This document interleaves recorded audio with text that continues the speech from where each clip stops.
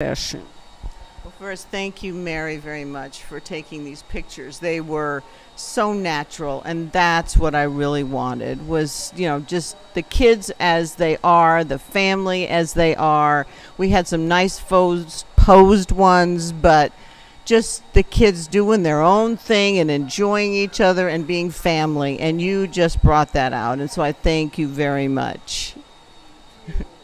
I would chime in and say that if you are thinking you may want to work with Mary, you've made the right choice. She is very patient. She knows what she's doing. Her photography skills are excellent, but I think her people skills are even better, particularly working with children who are often difficult to deal with. It was a great experience.